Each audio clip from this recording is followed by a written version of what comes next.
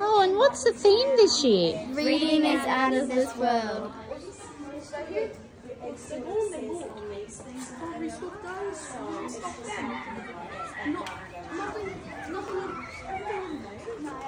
Oh, after school. Or the next day. Oh, okay.